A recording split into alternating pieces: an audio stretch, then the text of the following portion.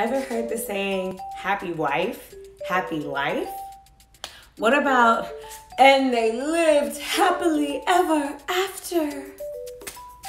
How can someone like me go from back to back abusive relationships to being married two years going on forever?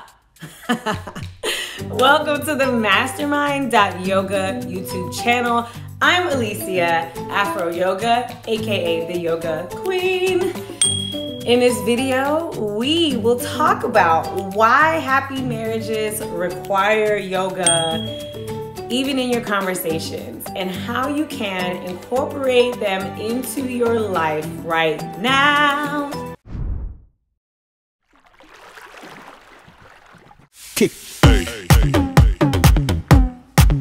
Welcome to the Mastermind Yoga YouTube channel to my yoga lovers and yoga teachers. This is the place where no topic is taboo. We look at the way yoga shows up in life. So that means you're in the right place if you like to explore perspectives. Yes. If you are not already subscribed to the channel, subscribe. Then corres that notification bell so that you can keep up with every time the videos come out. After consecutive abusive relationships, I had to realize I was influencing the outcome of extreme unhappiness. I had to take some time to be in a dedicated relationship with my single ass self prior to being mentally ready to be in a relationship with another person. So that means figuring out what happiness meant to me. And then fast forward to meeting, dating, and living with my now husband. We talk to each other and see each other every single day. And in any given conversation, we could have to come to a conclusion about something. And even though we love each other, we don't always see eye to eye. We are two different people. The problem is in many relationships, in many conversations, they can involve emotional overreaction, angrily raised voices, and manipulation. You want to go out to eat? So, what? You don't want me to cook? You don't like my cooking now? Oh, okay.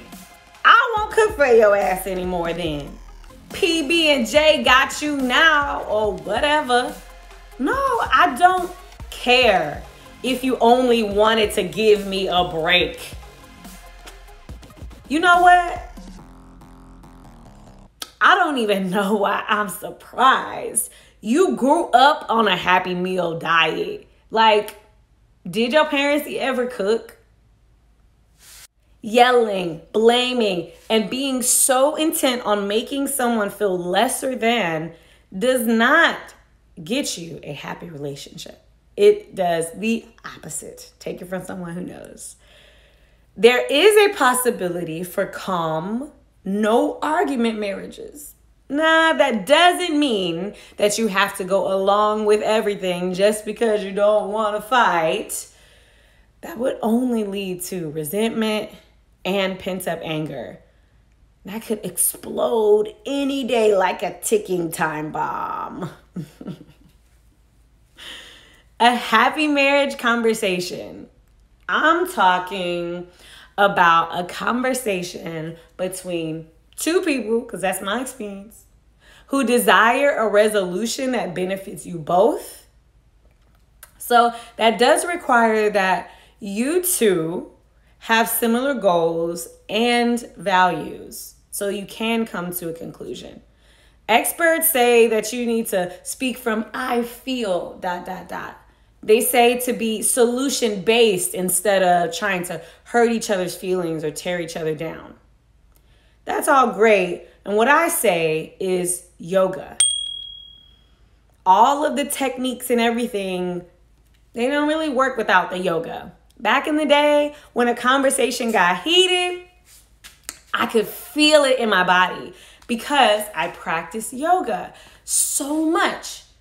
I know when my body feels calm. And so I learned that when I'm angry, I feel heat in specific places. And it feels different than the calm feeling. Because of this self connection, I can identify when I don't like the way a discussion is going. I notice that I'm raising my voice or he's raising his voice and it doesn't feel good. Immediately, even if I'm mid sentence or mid word, I take a deep breath or three, depending. Then I restart with those techniques. I feel dot dot dot or I desire dot dot dot. And that's where I can use the techniques. I have to recognize what's going on first. So the whole mood and direction of the conversation can shift easily with breath. And when I focus on the desired outcome, it does take some practice and it is doable. Because if I can do it after my family history where everyone is on their second or third spouse, except me and my siblings, then surely you can learn this skill for a happy relationship. It did help me to see it happen.